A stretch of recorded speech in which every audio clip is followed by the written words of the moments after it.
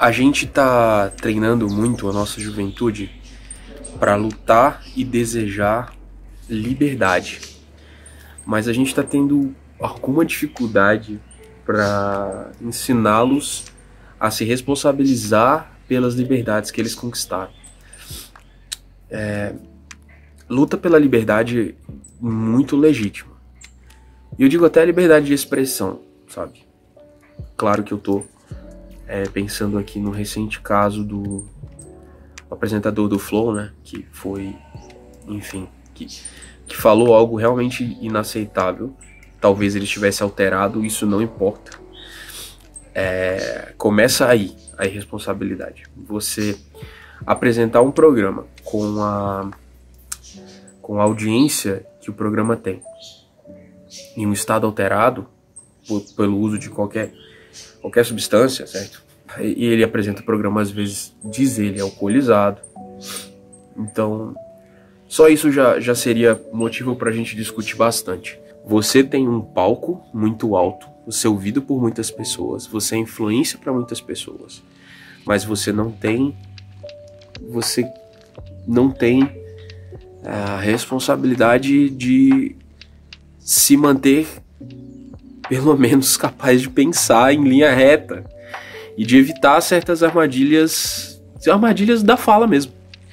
A liberdade de expressão, ela, ela é uma faca que corta para os dois lados, ela é uma espada de dois gumes, assim. Você tem liberdade para falar o que quer, sim, mas você pode falar tudo, mas não qualquer coisa. E aí entra você questionar é, qual a responsabilidade que a gente tem sobre certos discursos que a gente faz. Né? Cara, não é sobre ser politicamente correto ou sobre, sei lá, tomar cuidado com o que fala, porque agora tudo é cancelamento. Né? Cara, tem coisas e coisas. Eu acho que sendo cristão, você deve ser uma pessoa que valoriza muito a sua liberdade de expressão. E que por valorizar muito a sua liberdade de expressão, você deve usar essa liberdade de expressão de uma maneira muito responsável para não perdê-la. Ah, Davi, o monarca não é cristão. Não, o monarca não é cristão. Mas a liberdade também embriaga. E isso é uma coisa que eu acho que vale a gente conversar aqui. A liberdade pode embriagar. Quando você é muito livre, às vezes você se embriaga com a liberdade que você tem para além de tudo o que aconteceu, né? É, eu sempre espero a primeira onda passar e penso um pouco mais antes de, de tornar minhas opiniões a respeito de qualquer coisa mais ou menos pública. Algumas coisas eu nem comento. Mas eu quero pensar em mim, como isso me afeta. Né? E eu acho que eu sempre posso pensar no viés da liberdade de expressão. Sendo cristão, a liberdade de expressão é algo que é muito caro para mim. Porque as ideias que eu defendo não são ideias, é, vamos dizer assim, não, não estão na hegemonia. Elas estão na contramão, com certeza. Elas estão na contramão até das ideias da maior parte dos cristãos. A maneira como eu vejo o reino de Deus, a maneira como eu vejo o evangelho, a maneira como eu vejo a responsabilidade cristã, dentro do mundo da sociedade. É, se você não acha que eu tô na contramão, talvez você não me conheça o suficiente. Eu acredito que o reino de Deus deve influenciar tanto a maneira de viver e de pensar de uma pessoa que isso deve ser a primeira coisa no coração dela. E isso é a contramão. Se eu tô na contramão na maneira de pensar, eu preciso valorizar muito o fato de eu ainda ter espaço para pensar e para falar o que eu penso e eu falo.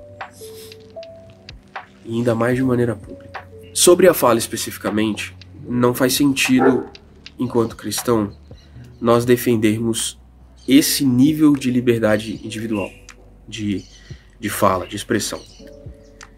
Defender qualquer ideia que envolva o risco de um semelhante, portador, imbuído da imagem de Deus, seja ele quem for. Nenhum discurso que envolva a morte ou ódio a um semelhante deve ser algo que nós ah, promovemos. Se a gente é proibido no evangelho de odiar um irmão, e se a gente é ensinado a orar pelos inimigos, desejar a criação de um partido antissemita não faz nenhum sentido. E defender que alguém deseje isso também não faz nenhum sentido. Olha como isso afeta a gente. Nós somos pessoas que têm ideias em contrário do establishment, do da hegemonia cultural, sei lá que nome que você quer usar, do zeitgeist. Então, se a gente tem ideias em contrário, a maneira de colocar essas ideias deve ser uma maneira muito responsável. E quando as nossas ideias são expostas, não pode haver nelas o menor resquício de incitação ao atentar contra a vida de um semelhante. Isso é uma coisa inaceitável que um cristão faz. Que um cristão fale algo que faz com que determinada pessoa qualquer seja odiado. E aí entra aquilo que a gente fala no púlpito, tá? Poder falar no púlpito é uma liberdade conquistada e que, sabe, não foi barato. não foi barato a gente poder falar ali. Eu sofri perseguição por ser cristão evangélico quando eu era adolescente, eu tenho 35 anos. Isso foi há 20 anos atrás. Somente 20 anos atrás você era muito zoado, no mínimo, por se dizer evangélico. Pregar ideias cristãs evangélicas ou cristãs protestantes na escola era motivo de você ser, no mínimo, zoado.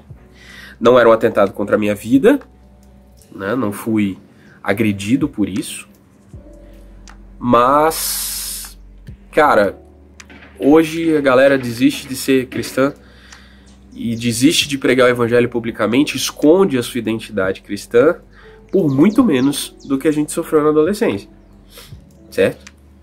Então, a liberdade que a gente tem no, no púlpito, a liberdade que a gente tem, o orgulho de ser cristão e essa demonstração pública e do que eu tô fazendo aqui, que é uma apologia ao evangelho aberta que compromete meu nome e minha identidade, portanto me coloca na linha de tiro em qualquer coisa que cristãos evangélicos falam e façam, é uma liberdade conquistada que custou muito caro para muitas pessoas.